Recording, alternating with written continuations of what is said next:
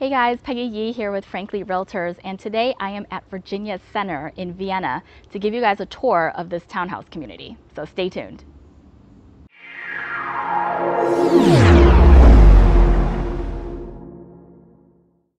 Hey there, thanks for checking out this video. My name is Peggy Yee with Frankly Realtors, and I'm a local real estate agent here in Tyson's Corner.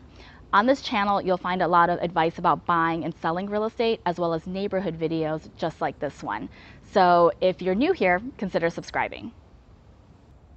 So today we are at Virginia Center, uh, which is a townhouse community that was built in 1993 to 1994.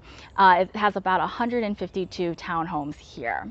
Most of them are three bed, three and a half bath townhomes uh, with either one or two car garages. Uh, all of them are approximately 2,000 square feet.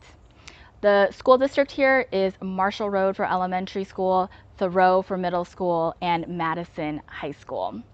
Um, the great thing about this community is probably the location. It's only less than half a mile from the Vienna Metro on the Orange Line. And it's about less than six miles from Tyson's, about 15 miles to downtown DC, uh, really close to I-66 and Lee Highway as well. So uh, it's a really great location for uh, this community.